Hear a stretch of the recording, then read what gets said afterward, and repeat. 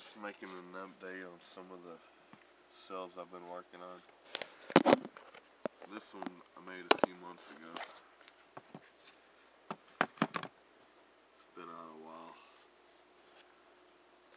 And I wrapped uh, copper wire and aluminum wire around a piece of quartz crystal and then soaked it in a super saturated solution of Epsom salt kind of coat it. And that's what I get.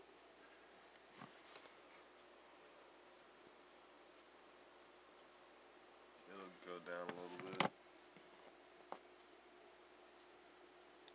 And it's uh, got sugar in there too so it's a little bit thermoelectric so when I grab it put my body heat on it it'll go up a little bit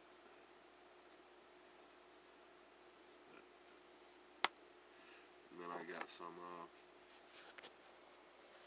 barium titanate well pieces of a cylinder and then I just uh, soldered them on there a couple wires onto each side. And that sort of pulses. See what that does. I wish I had a full cylinder like John Hutchison did, but I don't. I can only get pieces, but I bought them on eBay for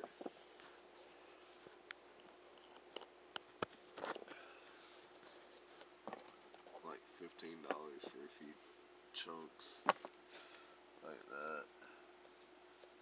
And it's uh, the ceramic, the barium titanate ceramic coated with the silver on it.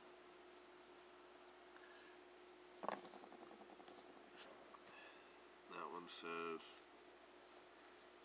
almost half of a 0.4 of a volt. But it pulses, I got it on backwards, I guess.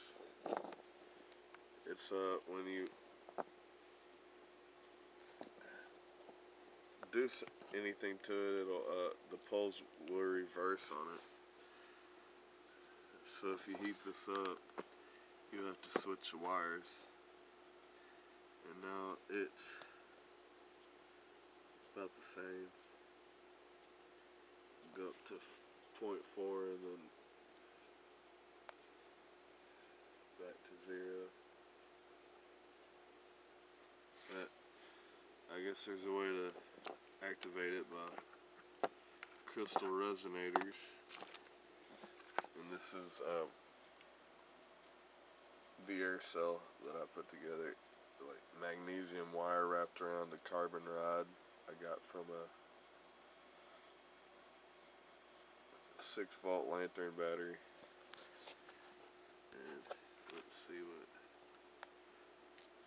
we get out of this one. I made this one like a year ago or so. Quite a while back.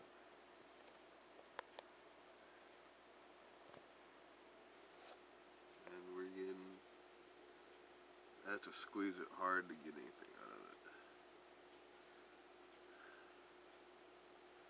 Almost 0.4 of a volt. It came loose.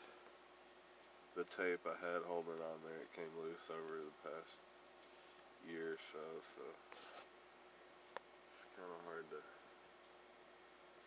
get a good connection on it.